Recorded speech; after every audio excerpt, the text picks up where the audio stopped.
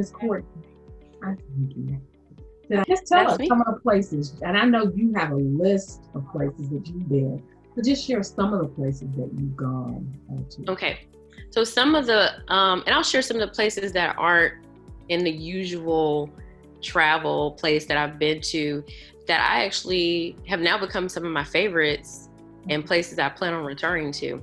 So um, number one was India, and um, I loved love the time there. If you love history and there's so much culture, the architecture there, the people, the vibe, the spirit. And what I like about that side of the world is they grow up where spirituality, education, and everything is kind of together.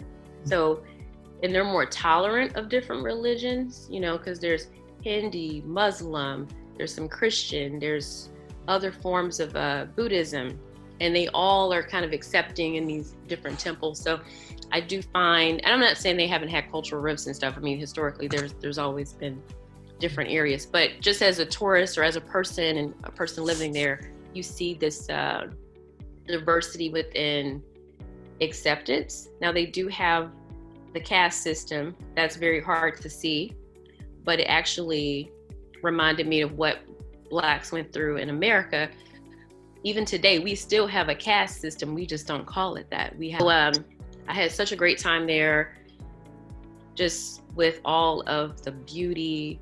And I'm a foodie, so I feel like one of the things you get from traveling is to explore different foods, cultures, cuisines. I mean, it's just the palate is just gonna just like fulfill you. If and if you're opposed to curry, you know they got other stuff besides curry. You know, and I the funny part I had a oh I'm sorry I had a friend turn this off had a friend ask me, "Does it smell like curry everywhere?"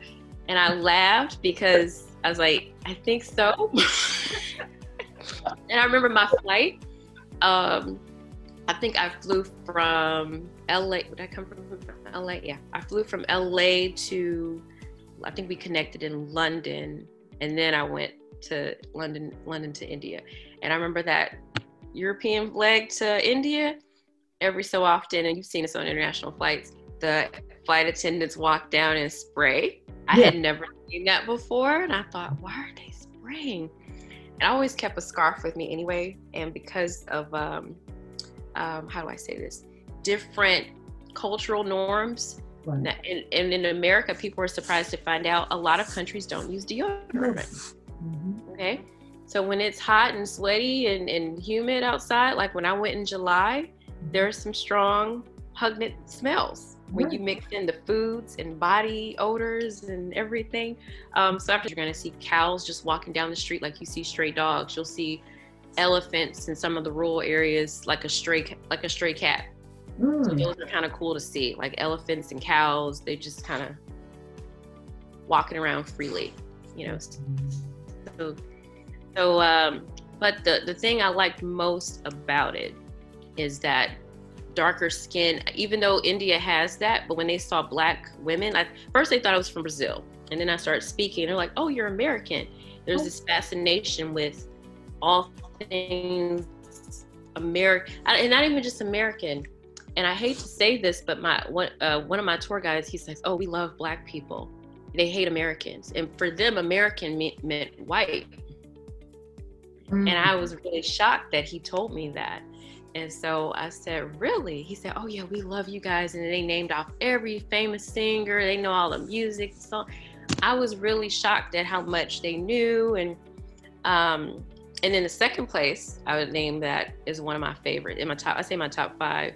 Kind of has a similar vibe of India, but I would say it's like an island version of India with Sri Lanka. It was just more peaceful. And if I I haven't been to Bali yet, but from what I've been told, it reminds me of like a blend between like Balinese culture and like a Caribbean vibe, you know, very laid back. The people are very, you know, most of them are, I think, more Buddhist and they're just very peaceful and they look like us.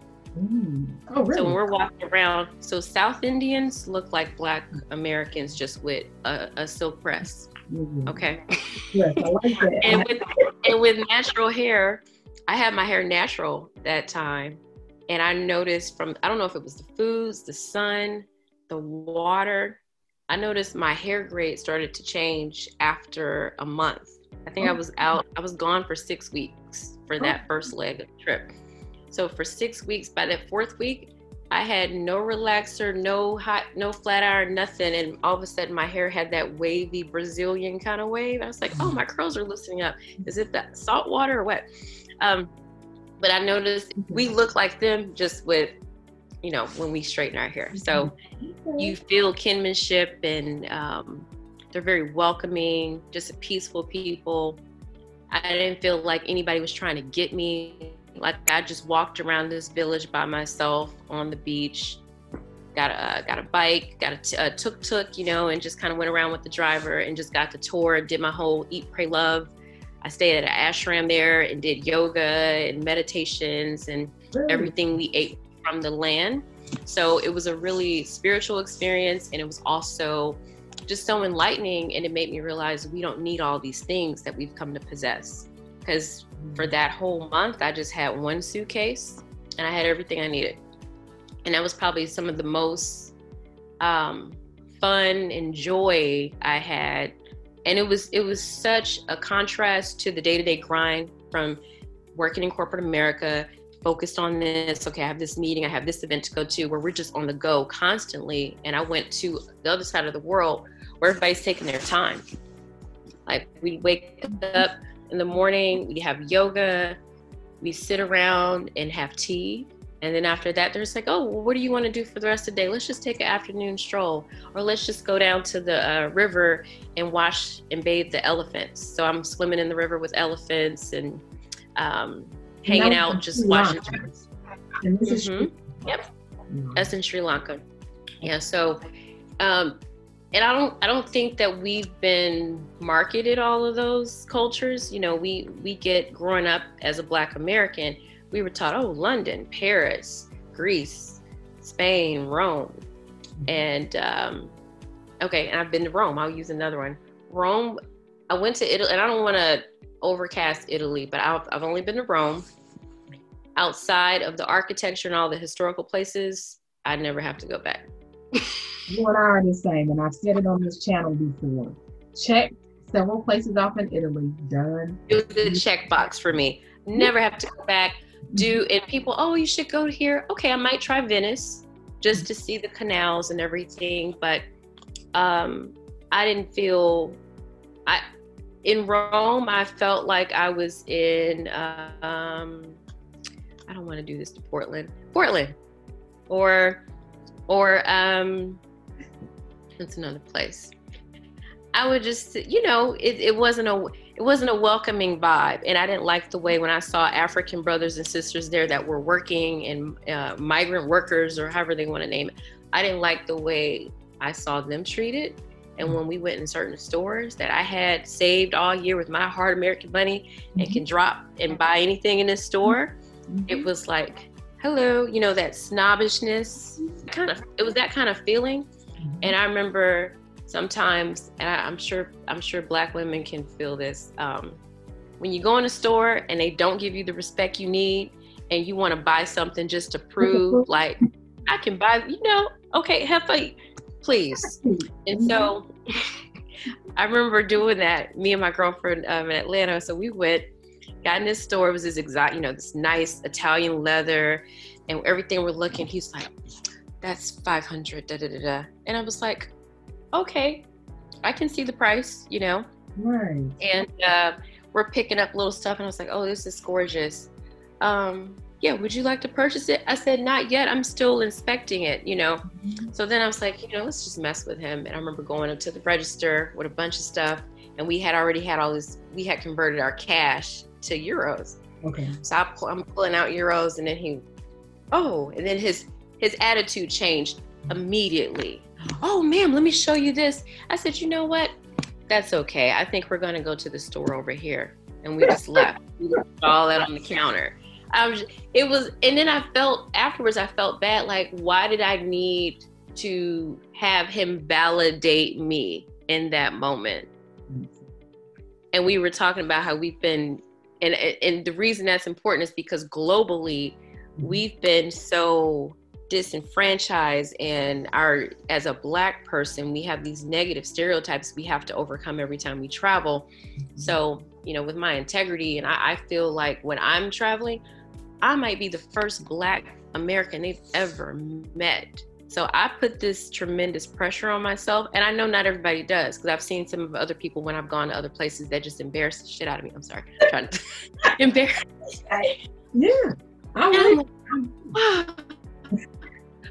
or we're in um, we're in some sacred holy ground, you know, and you're supposed to be talk. I mean, be talk softly and be respectful.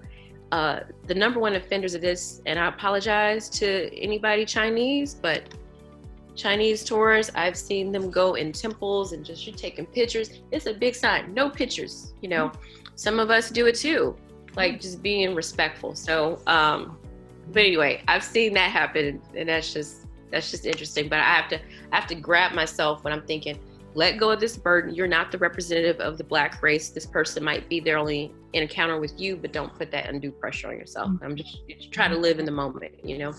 Um, and then I'd say my other favorite places that I I, I would go back to, Fiji. Um, I feel like that is you know Wakanda paradise. Then there's Ghana, mm-hmm. um, which I feel like is already there. You know, it's like the metropolis. Like Fiji, I think would be like the island version of of Ghana for me, um, where everybody's just like laid back. You know, and, and then of course you know all the Caribbean. I've been to most of the Caribbean. Um, and you, most people outside the resort don't experience um, the locals and really get a sense of the true culture. But because my father's from Trinidad, been to Trinidad, Jamaica. I've probably been to Jamaica more times than I've been to Trinidad, surprisingly. But you know, you get that vibe and that spirit. So I feel like I grew up with that. So when I go there, that's just like having fun. But from a cultural standpoint, um, you know, the Southeast Asian countries. I've been to Thailand. I would definitely go back there. It's just, again, welcoming, like that Sri Lanka vibe. They're very engaging with tourists. And it's inexpensive, you know, for the most part. Once you, your most expensive thing is going to be your plane ticket there. Mm-hmm. And I've, I've encouraged a lot of people if you want to try a place far away but still feel safe, Thailand. Mm-hmm. Um, if you want to venture out, oh, go ahead.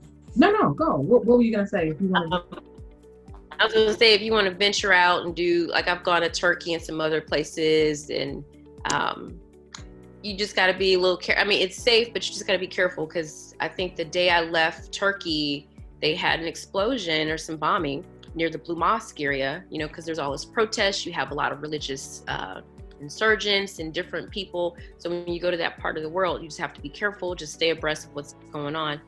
But this is the melanin for protection. Okay, I'm just saying this is the skin because surprisingly, when we travel globally, I I feel safer outside of U.S. Um, I haven't felt unsafe.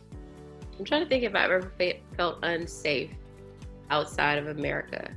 Um, and I would say no. Maybe, maybe once when I left the resort and we ventured to some club outside of Kingston a Jamaica once, but okay. Okay. that was more like, okay, you might be on the north side of St. Louis and something's happening, or back in the day. I mean, it, to me, it's no different than any American city. So when people say, oh, it's dangerous here, it's dangerous there, I say, well, that's a lie. You live in the um, top five murder capital of, of, America. Like, what are you talking about? It's dangerous for you to go to Target. Absolutely. And I say that. you know, the cops, Absolutely. you might not make it back here. So I've I haven't felt that type. And when the police stops or something, I don't feel the anxiety. Oh my God, do I have this? Do I have that? I don't feel that abroad that we feel here. Mm-hmm. So, you, you in such a short, just um, talking about your experiences, you touched on a lot. Um, one of the things that stood out to me is you talked about showing up in the skin in which we live in daily. In these other countries, we have, I think, as Americans, and especially a lot as Black Americans, we think or we don't understand the magnitude of our color around the world, yeah. right? Yeah. So most of us think if we show up in certain uh, countries, we're not going to be received.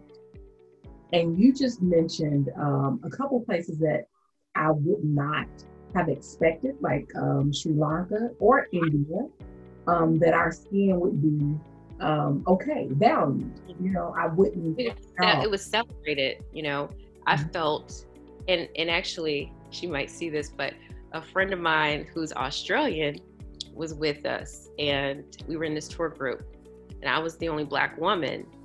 And all of the locals, everywhere we went, like we were leaving the fabric stores, and I'm trying on saris, and um, India does have a very I won't get too much in all the cultural stuff with women because there is there is that. But people would just come by and they want to take pictures and they're just she's like, wait a minute, why is everybody trying to like, you know, see you and not me? Because I'm like, well, they see white people all the time. And I said, and then they were calling me, um, I think Majarata, Majarata, I believe the word was. It meant like Queen Mother. They were calling, you know, because I, I was like, oh, okay the I think I'm think I'm saying it right, but it was it was very interesting, and they were so like excited to see me put on their saris, and it was like, oh, you look. Black Americans, you guys look like South Indians, and you look like this, and you look like you're our culture. You look like one of us. You're one of us.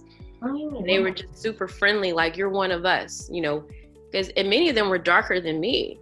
Yeah, yeah, yeah, yeah. But like I said, they just got that silk press hair. Okay.